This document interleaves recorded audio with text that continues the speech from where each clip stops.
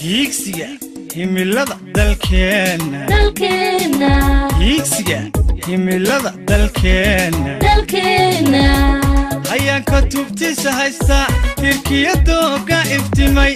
Hawada uduga nasaqday midhaha hoobanta hawrtay ilaaca cirka ku hooray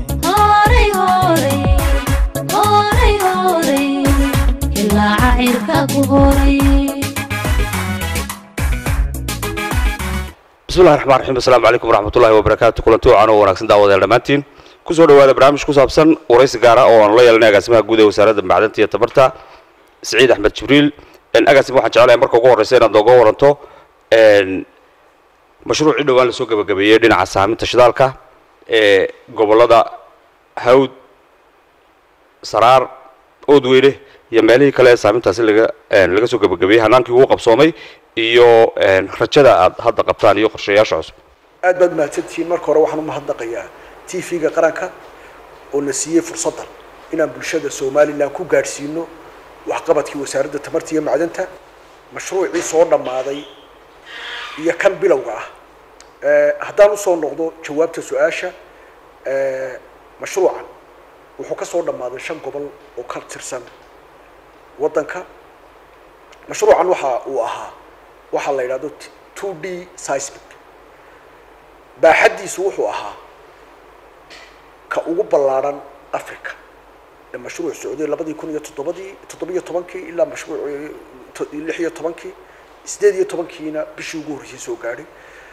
Waxaan soo gabagabeynay saddex kun iyo shan boqol oo kilomitr mashruucan. Waxaa mas'uul ka ahayd oo hagaysay wasaaradda tamarta iyo macdanta waxaa maalgelisay shirkadda ganayl sahankana waxaa sameynaysay shirkad chinese ah oo la yidhaahdo b g b oo ah shirkadaha ugu waaweyn adduunyada ee sahanka noocan oo kale ah sameeya. Doorarka ay kala lahaayeen waxaa ka mid ahaa wasaaraddu waxay mas'uul ka ahayd iyo dowladda somalilan dhinaca wacyigelinta iyo amniga waxaa ka wada qayb galay ugu yaraan saddex wasaaradood oo ay ka mid ahayd ama hormood u ahayd wasaaradda tamarta iyo macdantu wasaaradda arrimaha gudaha oo qaabilsanayd amniga waxaa ka qayb galay wasaaradda degaanka oo iyaduna ilaalinaysay degaanka waxaa ka qayb galay ciidanka qaranka oo iyo wasaaradda gaashaandhigga oo dusha kala socday iyaguna amniga guud ee mashruuca. Mashruucani wuxuu marayaa iminka qaybtii sahanku way soo dhammaatay in turjumidii xogta xogtii laga soo qaaday dhulka garaacistii meelihii la qoday wuxuu marayaa mashruucan in la turjumo. Tuhunno fara badanna. Runtii waan qabnaa rajo badanna waan qabnaa. Mashruuca guud ahaan haddaad weydiisay. Intaasuu marayaa wuxuuna guud ahaan daboolay ama uu ka shaqeeyey shan gobol oo ka tirsan waddanka oo ay saraari xaggaa ugu xigto bari galbeedna ay ugu xigto gobolka hawd dhowaan bulshada waxaan maqalay nagu maqaalaa shirkadda general energy oo sheegtay in bilowga qodista la bilaabi doono sanadka laba kun iyo sagaal iyo tobanka arrintaas ma jirtaa? Arrintaas way jirtaa sida madaxda ganeel ka warrameen iyo qorshihii hore ee heshiiska ka dhexeeyey dowladda somalilan iyo shirkadda ganeel waxaa qorshaysnayd marka xogta lago la qaado in la qodo labada kun iyo sagaal iyo tobanka ee xogtaana la soo turjumo in ceelka ugu horreeya la qodo si tuhunkii iyo xogtii la qaaday loo xaqiijiyo. Alxamdulilah waxaana rajaynaynaa waddankeena in batrool ka soo bixi doono agaasibe maxaad nooga sheegi kartaa faa'iidooyinka bulsho iyo qaran iyo way aragnimada aad ka kasbateen intii hawlahan saaminta shidaalka ku jirteen wasaaradahan runtii bini aadamku markuu hawl qabto hawshaasna uu ka madhan dhaliyo. Faa'iidooyin badan bay yeelataa faa'iidooyinkaa waxaa ka mid ah maalgashi ay waddanka u soo jiitay. Shaqadii la qabtay ee saddexda kun iyo shanta boqol ahayd mashruucii ugu ballaadhnaa africa ahaa isla markaana mashruucii saddexaad ee adduunyada ahaa waad garan kartaa hadduu mar la numberka saddexaad ka galay adduunyada mashruucani in dad badan oo danaynaya sectorkani ay soo gelayaan faa'iidooyinka haddaan siday u kala dhow aan ka bilaabo mashruucani shaqa abuur buu sameeyey mashruucani wuxuu sameeyey ganacsatadii yaryarayd ee degaanadaa deganayd in iyaduna ay shaqooyin ka helaan oo qandaraasyo koob kooban la siiyo sida biyaha oo muddo dheer oo weliba hal sana iyo in ka badan ah faa'iidooyinka kale waxaa ka mid ahaa mashruucan xagga horumarinta shirkaddu waxay horumarisay oo ay iskuullo m c h yo biyo u qoday degaanadii ay ka shaqaynaysay allahuma salli calaa maxamed shirkaddu shirkaddu waxay ka qayb qaadatay gurmadkii abaaraha. Waan ogeyn labadii kun iyo toddobiyo tobankii horaantiisii ilaa labada kun iyo lix iyo tobankii dabayaaqadoodii abaar ba'ana inay ka jirtay gobollada bariga. Eh, sidoo kale waxay shirkaddu qabatay oo mashruuca iyadana qayb ka ahaa in la qoday ballayo ama loo ballaadhiyo ballayo horoo jiray ama kuwa cusub loo qoday. Sidoo kale shirkaddu waxay wax ka qabatay dhinaca sanitationka oo godad dadku ay isticmaalaan oo musqulo loo qoday. Intaasoo faa'iido bay leeyahay. Tababar aqooneed. Mashruucan ballaadhan ee wuxuu la yimid tababar aqooneed inuu dadka ku tababaro xirfado aan waddanka hore uga jirin. Waxaa ka mid ah baabuurtan waaweyn ee dhulka garaacaysa. Dadkeenu xirfaddaa umay lahayn. Maanta dhalinyaro somalilan darisa ayaa baabuurtaa wada. Waxaa ka mid ah wasaaraddu aqoon kororsi uga soo kordhay.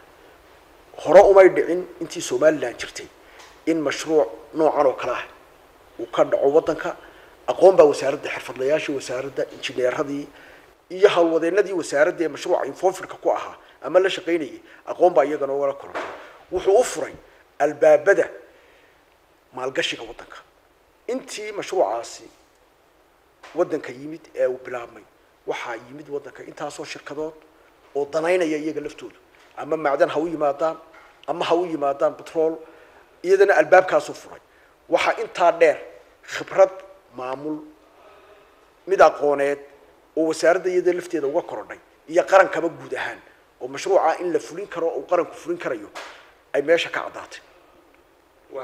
Ma jireen wax caqabad ah oo idinka hor yimid markii ablowdeen hawshan saaminta shidaalka ee somalilan caqabadii idinka hor yimid sidee u xaliseen Ah, run ahaantii shaqo kastoo la qabtaa.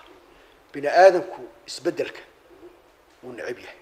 Ama wuxuu ka keenaa wuu ka hor yimaadaa isbeddelka.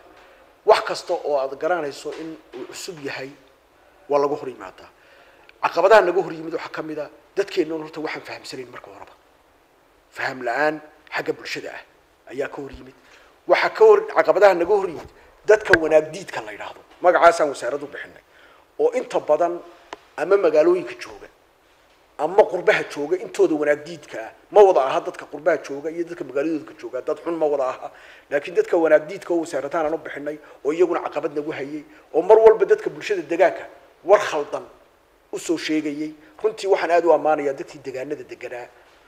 Aan ka shaqaynaynay ama dadkii xoolo dhaqatada ahaa beeralayda ahaa dadkii magaalooyinka iyo tuulooyinka deganaa.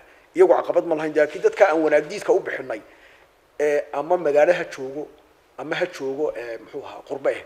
Dadka caqabad bay iyaga nagu ahaayeen.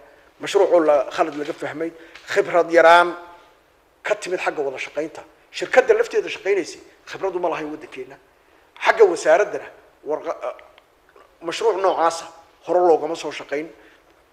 Iyada lafteeda intii la isla jaan qaadayay xagga wasaaradaha dawladda oo mashruucan la wada xidhiidhay sida degaanka allahuma salli calaa maxamed wasaaradda arrimaha gudaha oo amniga ku mas'uulahayd. Iyadana caqabadaas way nagu timid. Mashruucan bilowgiisii oo isaga laftiisa ku yimid wakti adkaa oo abaar ahayd iyada lafteeda caqabad nagu timid ayuu noqday. Guud ahaan marka la isku soo ururiyo faham la'aan ka timid xagga mashruuca oo aanay dadku fahamsanayn oo ay u haysteen haddii batrool la sheego in lacag la qaybinayo ninkii loo tagaba in lacag la siinayo oo aneen aynaan aqoontaa aynaan lahayn. Ayay ahayd caqabadaha ugu waaweyn ee naga hor yimid. Sidaan u xalilay waxay ahayd wacyigelin fara badan oo ay gelisay wasaaraddu.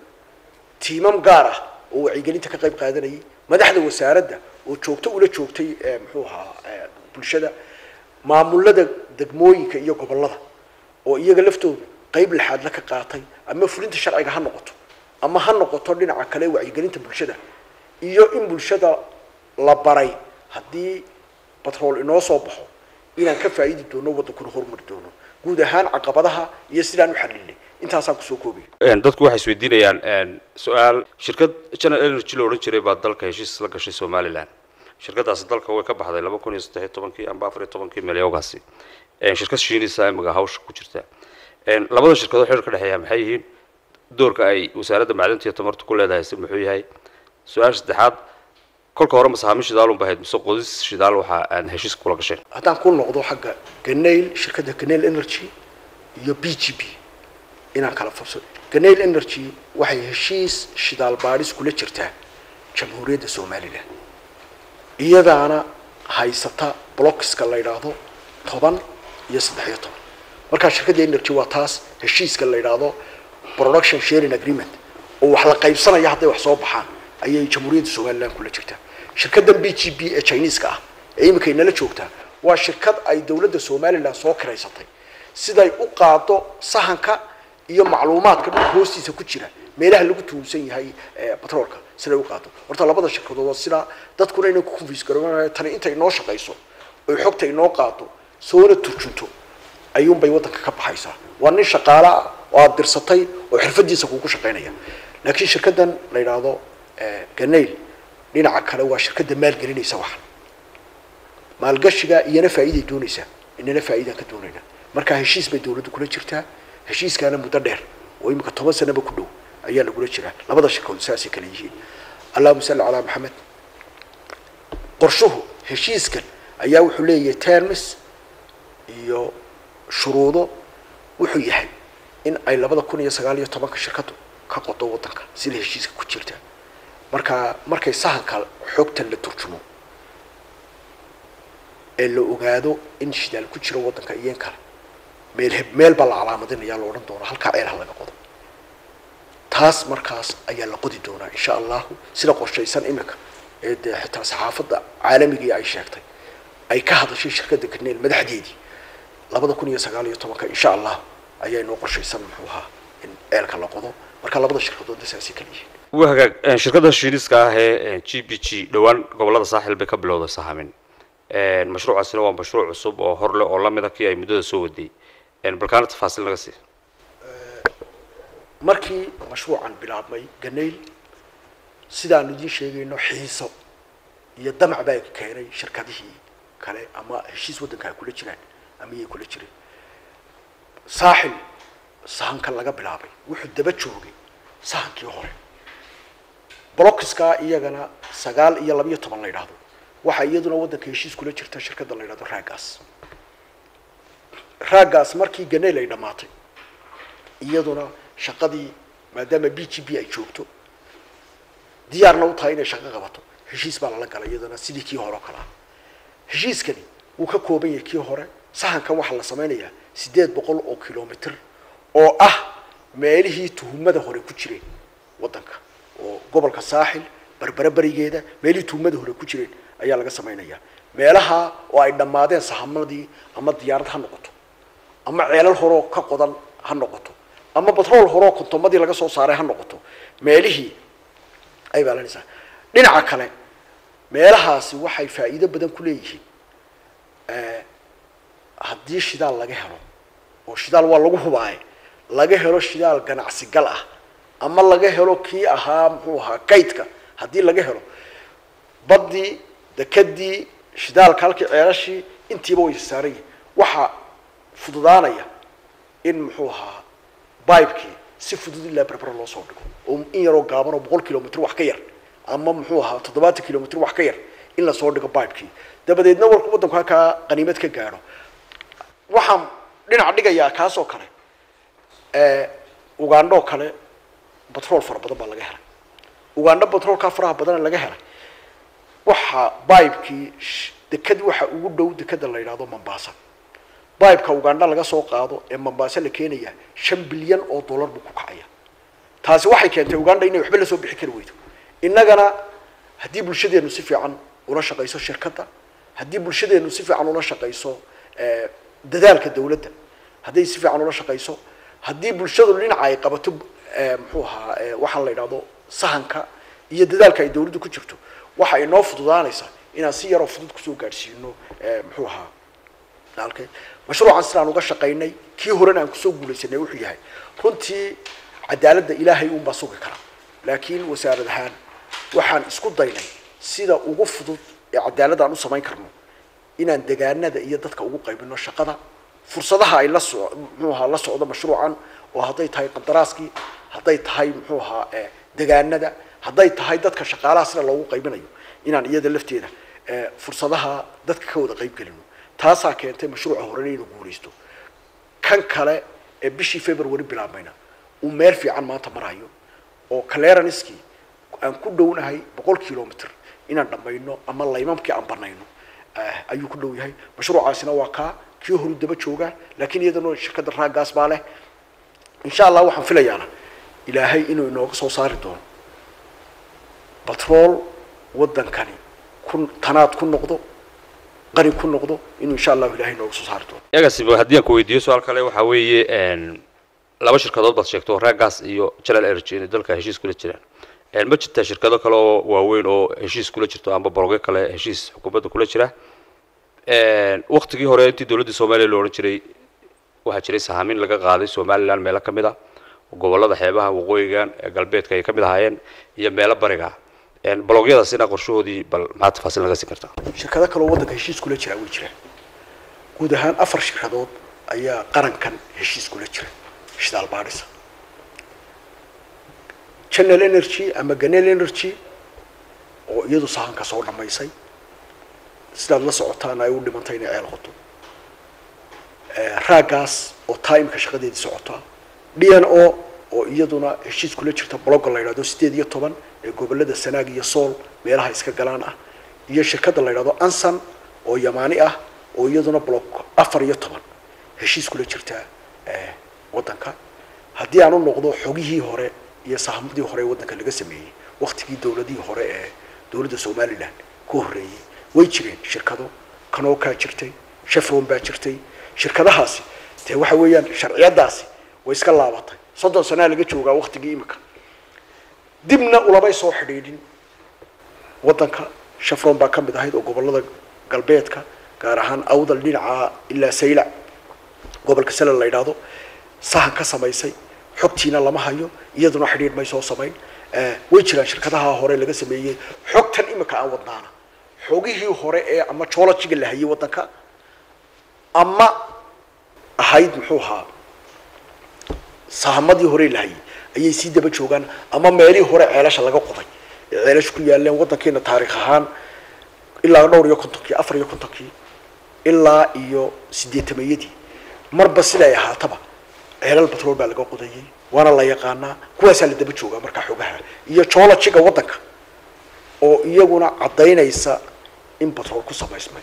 Waayo markaad eegto yaman isku jooloji baa la helay shidaal innagana shidaalkii wuu ku jiraa laakiin waxaan raadinaynaa kaydkii ganacsi galka ah. Ceelashii laga qoday awdal iyo selel xeebaha galbeed somalilan waktigii dowladihii hore maxaa u tixraaci weydeen oo uu u sameyn weydeen in heshiiskii halkaa laga shidaalkii la tijaabiyey halkaa laga soo saaray. In uu dhaqan inuu yahay mid ganacsi galaya in kale. Run ahaantii dowladda somalilan awooddeeda ceel lama qodi karto.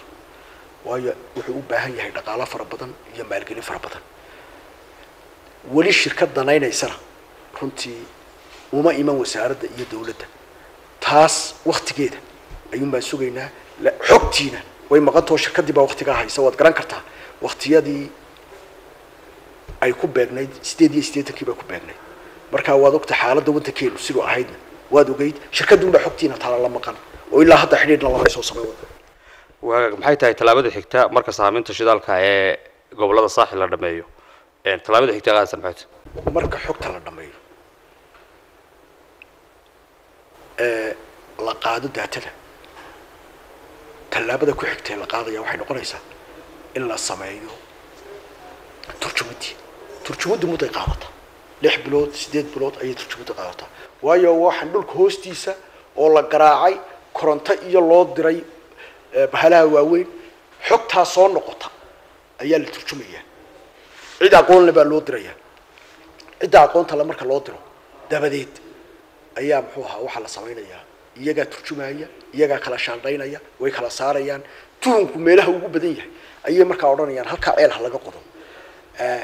Markaa ta ku xigtaa waa tallaabadaa xigta ee ah in sidii ceel loo qodi lahaa. Dhinaca sahaaminta macdanta macaadin kala duwan baa lagu sheegaa dalkeena hadday jibiston tahay iyo hadday tahay macaadinta kale ee maxaa la idhahdaa warshadaha loo isticmaalo iyadoo tananka lagu iibiyo بل ما هذا وش كرت لنا مع أنت تلقى أنت ودن كينو وهو تمضى له مع أنت.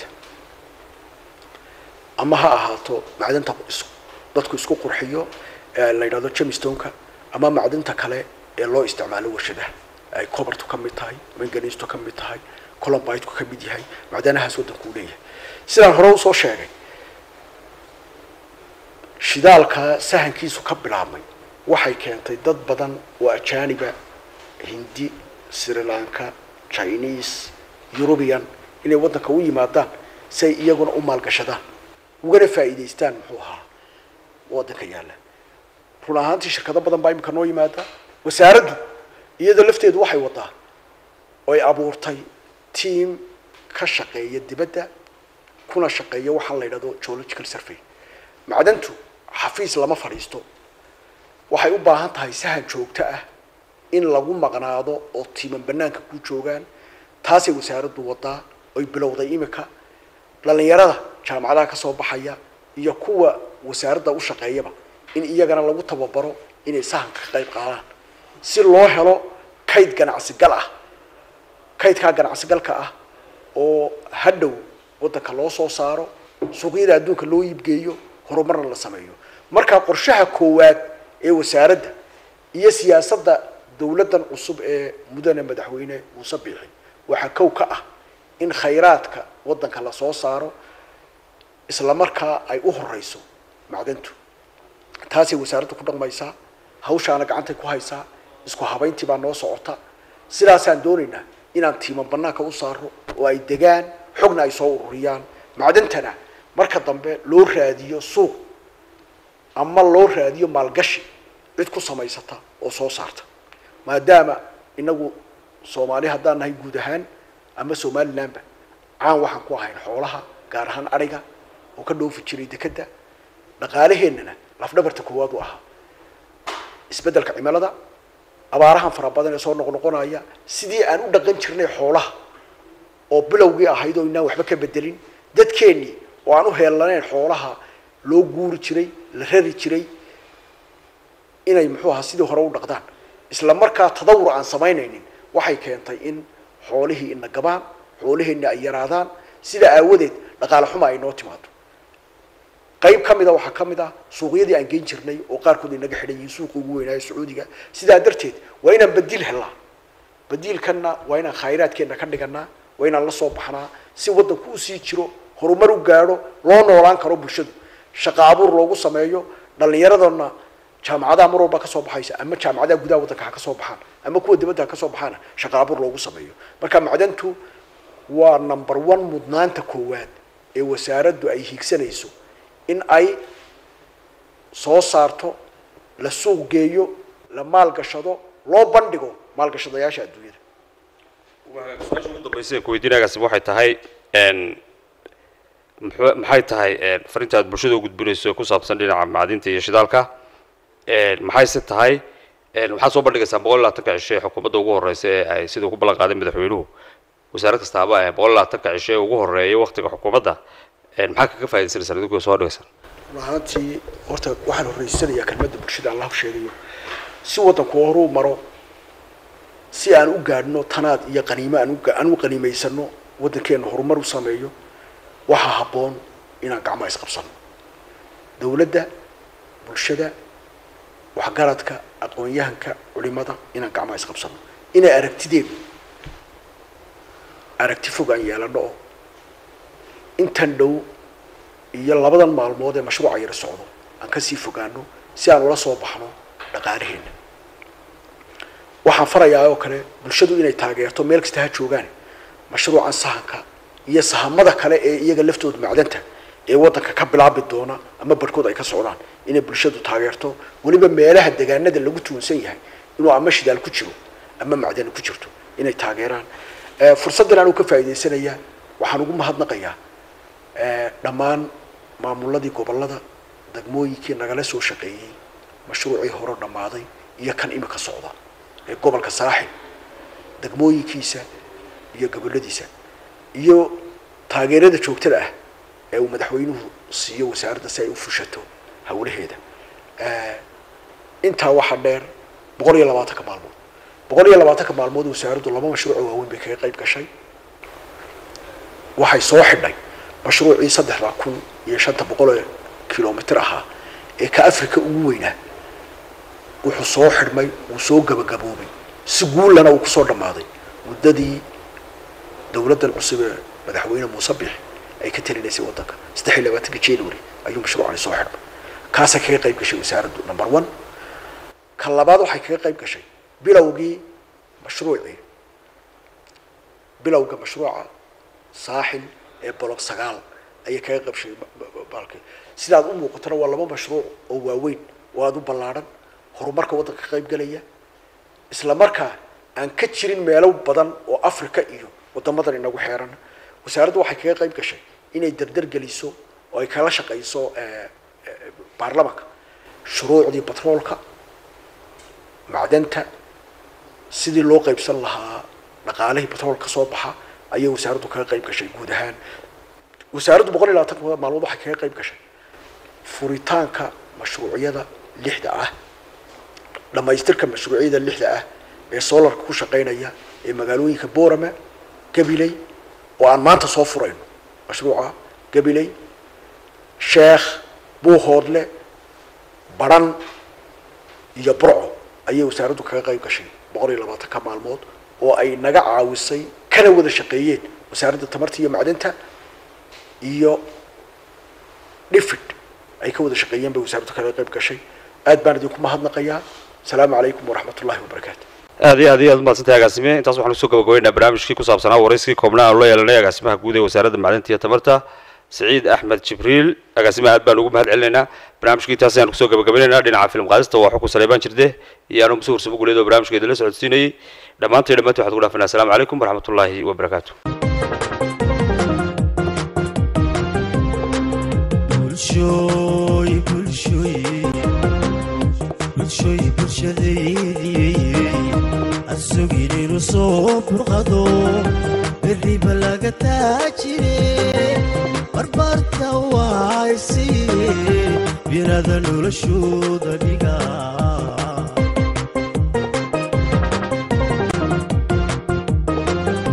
qabyaalad waa bele kambaajiya diido qaybka oo lama bari bigayska caddaysto bigayska caddaysto islaysto waxaad cuntaan